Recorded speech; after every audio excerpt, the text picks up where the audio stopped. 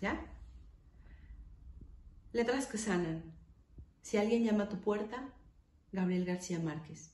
Si alguien llama a tu puerta, amiga mía, y algo de tu sangre late y no reposa, en su tallo de agua temblorosa, la fuente es una líquida armonía.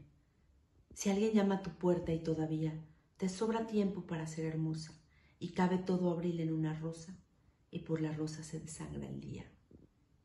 Si alguien llama a tu puerta una mañana, sonora de palomas y campanas, y aún crece en el dolor de la poesía. Si aún la vida es verdad y el verso existe, si alguien llama a tu puerta y estás triste, abre, que es el amor, amiga mía.